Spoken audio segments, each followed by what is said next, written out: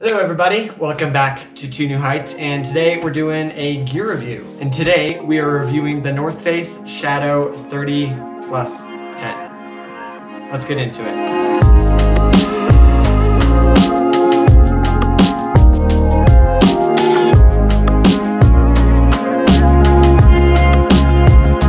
So I've had this bag for um, about two and a half years now actually and I've used it a ton. It was my first climbing specific bag um, and I used it a whole lot when I first got it. Uh, I don't use it as much now just because I have other backpacks, but it's still something that I do like to use and I, and I use it as often as I can. First of all, let's talk about how much this pack costs. So I think at the time I bought it, it was like 160 and I was just looking online and I cannot find it for sale anywhere. Um, I found it on several websites, but all of them were sold out, which is a little confusing to me. And yeah, as I said, it's only $150, so not that um, expensive for a climbing backpack um, compared to some other ones. Okay, so now let's talk about some of the features of the Shadow.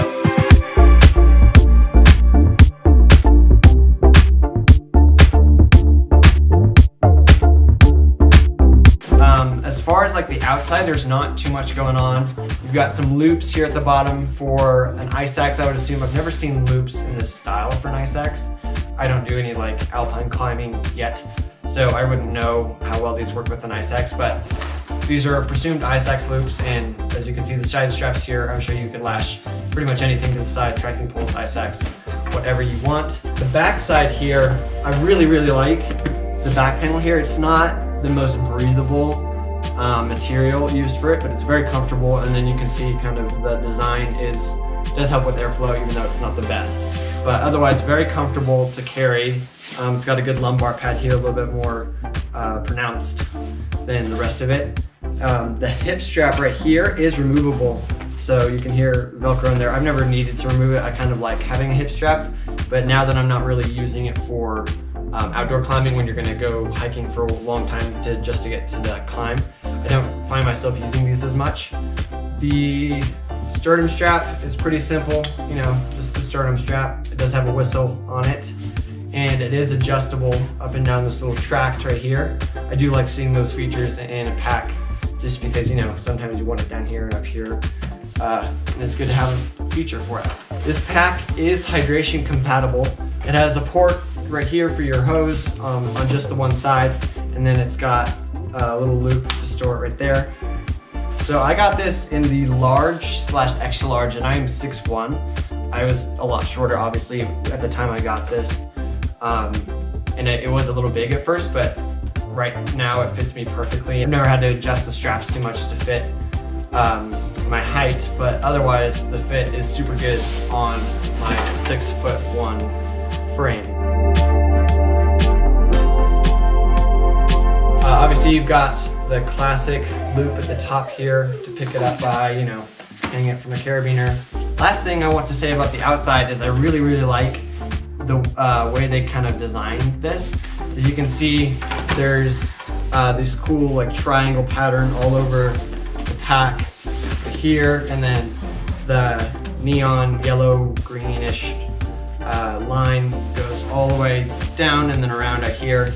So the color scheme and kind of like aesthetic design of this pack is really, really good. I really like it.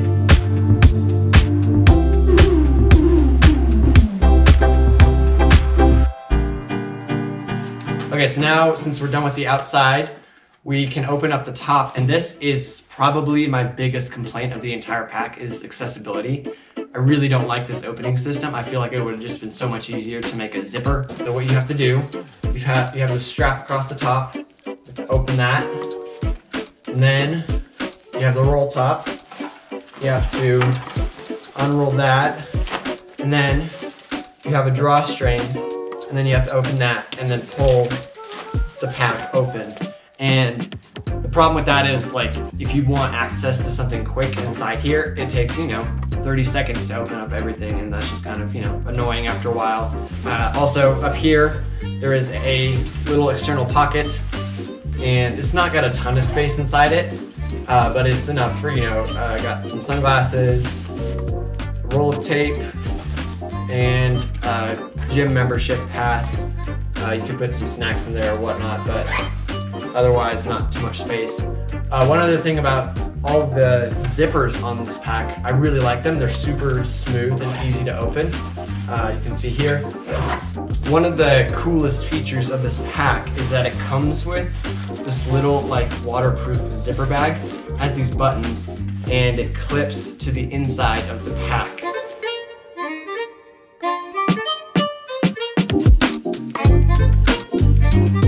Uh, into the meat of the pack, uh, we really get into here why it's called the 30 plus 10. So with everything rolled up on the roll top, it's about 30 liters. But as soon as you expand it, it becomes 40 liters. You can do just the drawstring hood of the pack and expand your pack about 10 liters. So in terms of how much this pack can hold, that's actually quite a lot. If you've seen my climbing gym gear video, you'll know this pack can hold quite a bit. And that's kind of what I've loaded it with right now is stuff I would bring to the gym on an average day because that's what I use this pack for the most. So there's like a lot of stuff that you can actually fit in this pack. You can see here now that my table is completely full and the pack is empty. So that is one thing I really like about this pack is like the amount of stuff it can hold. Um, because on the outside, it really doesn't look like a big pack on the inside, but you can see it right here. I got a bunch of crap here that I just carried. So that actually pretty much wraps up this review. Um, I already told you what I liked and what I didn't like. Um, obviously with the roll top, didn't like that. Love the color scheme and the aesthetic feel of the bag. The fit, um, overall, out of 10, I'd probably give this like a six or seven. Um, just because of the ticks on the accessibility. Otherwise, this is a really good pack and I really love it. It's a great budget first entry climbing pack. So yeah, 7 out of 10 for the North Face Shadow 30 plus 10. If you want to go check out this pack, I really don't know how you're gonna find uh, a seller for it right now because I looked on the North Face REI everywhere and they're all like sold out, which is interesting. So if you're interested in a pretty basic climbing pack um, with a pretty good volume, I would recommend maybe buying this. And if you have any questions in the comments about you know features of this pack and my experience with it, leave them in the comments below because I'd be happy to answer them.